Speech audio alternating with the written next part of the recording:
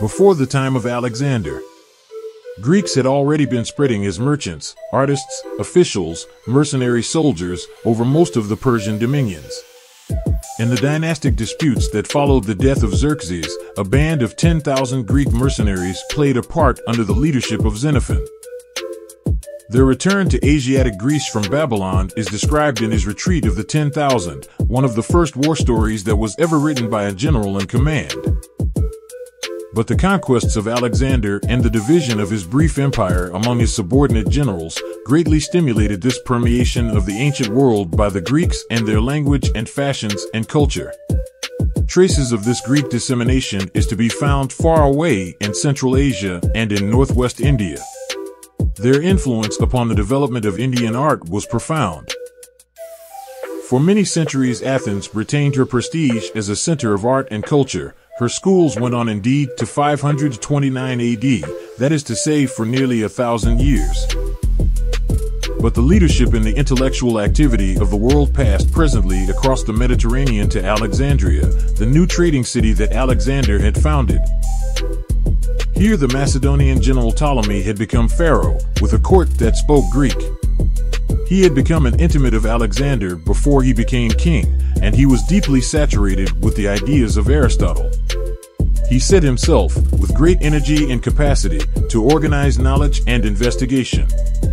He also wrote a history of Alexander's campaigns which, unhappily, is lost to the world.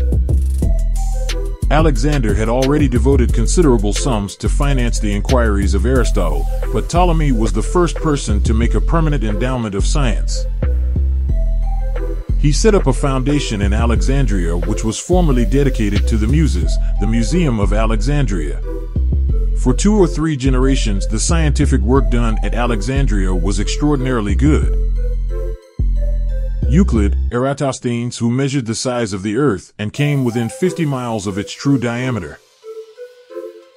Apollonius who wrote on conic sections, Hipparchus who made the first star map and catalog, and Hero who devised the first steam engine are among the greater stars of an extraordinary constellation of scientific pioneers.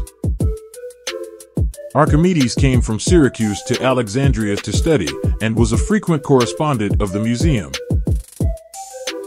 Herophilus was one of the greatest of Greek anatomists and is said to have practiced vivisection.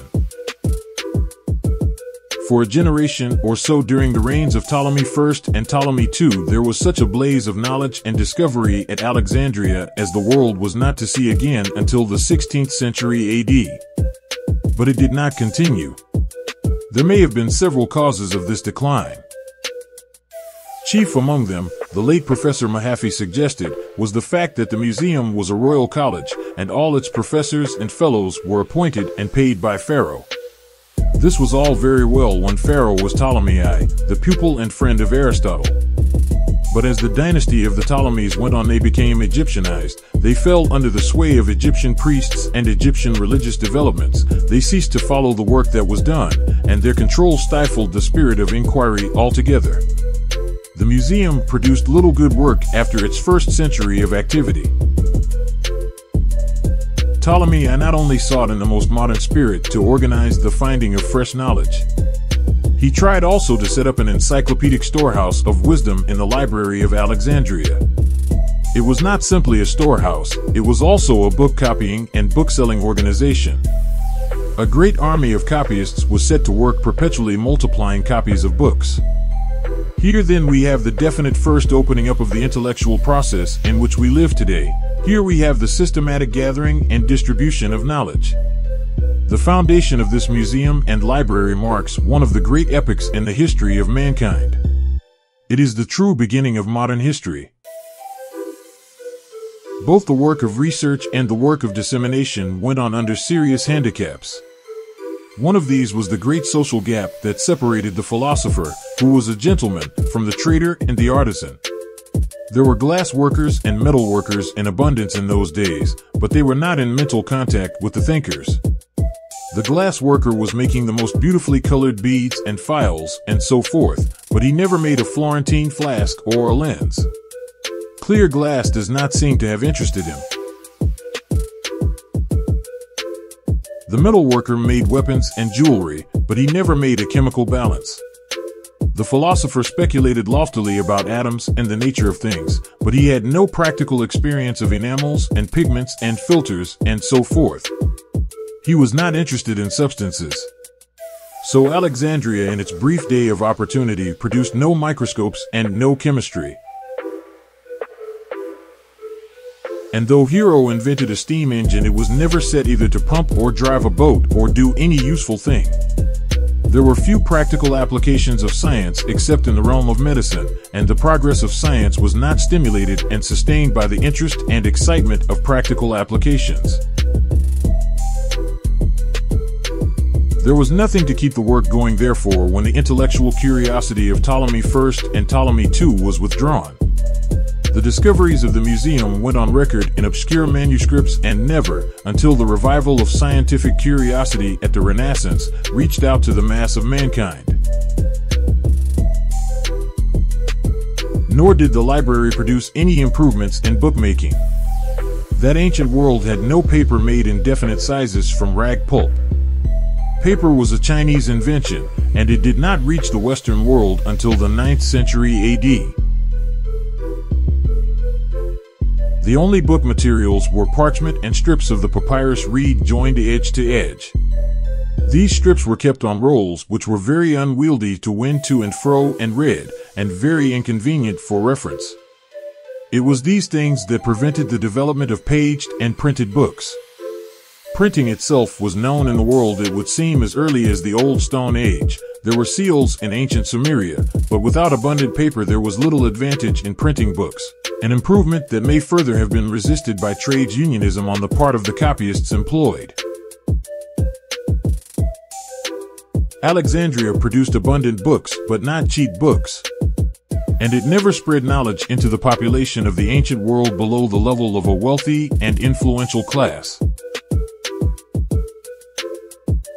So it was that this blaze of intellectual enterprise never reached beyond a small circle of people in touch with the group of philosophers collected by the first two Ptolemies. It was like the light in a dark lantern which is shut off from the world at large. Within the blaze may be blindingly bright, but nevertheless it is unseen. The rest of the world went on its old ways, unaware that the seed of scientific knowledge that was one day to revolutionize it altogether had been sown. Presently a darkness of bigotry fell even upon Alexandria. Thereafter for a thousand years of darkness the seed that Aristotle had sown lay hidden. Then it stirred and began to germinate. In a few centuries it had become that widespread growth of knowledge and clear ideas that is now changing the whole of human life. Alexandria was not the only center of Greek intellectual activity in the 3rd century BC. There were many other cities that displayed a brilliant intellectual life amidst the disintegrating fragments of the brief empire of Alexander. There was, for example, the Greek city of Syracuse in Sicily, where thought and science flourished for two centuries. There was Pergamum in Asia Minor, which also had a great library. But this brilliant Hellenic world was now stricken by invasion from the north. New Nordic barbarians, the Gauls, were striking down along the tracks that had once been followed by the ancestors of the Greeks and Phrygians and Macedonians. They raided, shattered, and destroyed.